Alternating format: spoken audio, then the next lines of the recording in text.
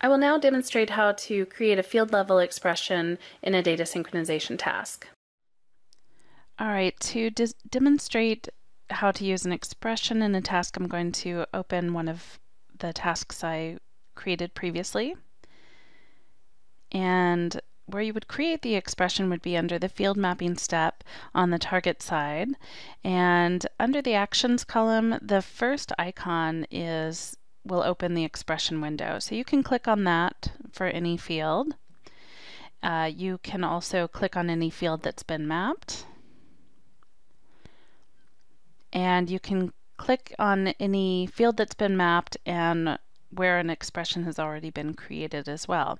So here for the account phone number, uh, the simple expression of concatenating area code and phone number has already been created for me when I dragged and dropped both of those fields over my target field.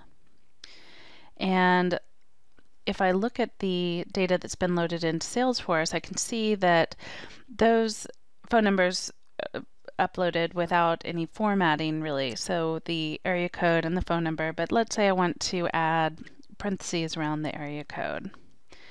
So I can open that field expression window in my task and what you get here on the left hand side in the upper section will be all of your source fields.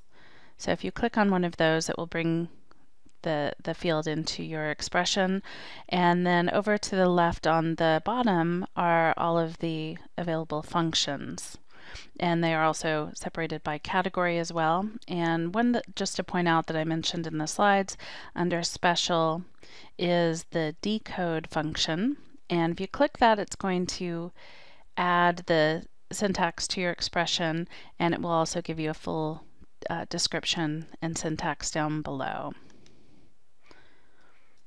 All right, so I'm going to I'm going to use double bar for concatenate, and I'm going to add parentheses around the area code.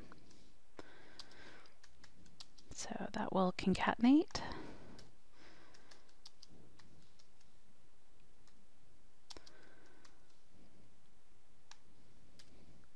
And then I also may want to add a space here as well.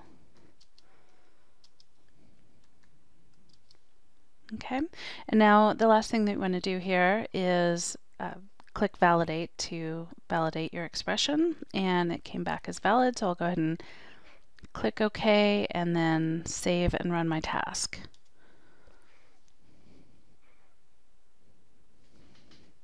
And I'll come back over here to Salesforce and refresh my list and I can see that the formatting has been added.